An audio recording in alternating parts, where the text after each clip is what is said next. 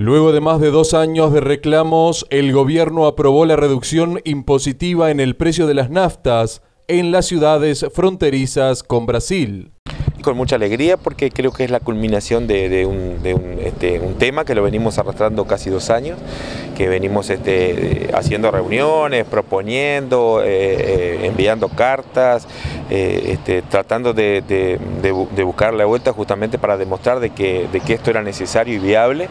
Y bueno, entonces llega en un momento más que oportuno porque este es, previo a, lo que es una temporada, este, diciembre es un momento ideal para que se aplique esto y, se puede aparte masificar con el tema turismo, digo, ¿no? Porque se nos viene carnaval, se nos viene un montón de, elementos que lo podemos utilizar como forma de atraer y de, de volcarle un mejoramiento a lo que puede hacer nuestra faz comercial.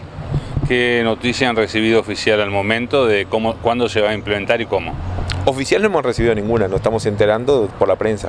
Hasta a nosotros como institución este, nos han llamado de los otros centros comerciales, nos han llamado este, de los distintos actores este, eh, sociales que han estado embarcados con nosotros, pero, pero, pero a, nosotros como institución nadie nos, llamó para informarnos del, de que esto se, ponía en actividad. Lo que no quita, digo, de que, de que nos deje contentos, alegres, porque en definitiva el trabajo que se hizo es para, para conseguir esto, porque estamos totalmente convencido de que es un beneficio para el departamento y para la gente. Esto va a cambiar la cara del comercio de Artigas.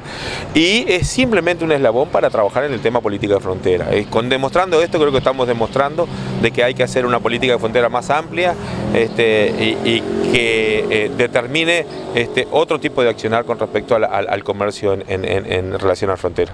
¿A su entender la visita del presidente Artigas influyó en algo para esta determinación? Por sus palabras no, por sus palabras no, porque él, eh, o, sea, si me, si me, baso en lo que él dijo, supuestamente esto no salía. Así que este, no sabemos quién estuvo influyendo para que realmente este, esto saliera.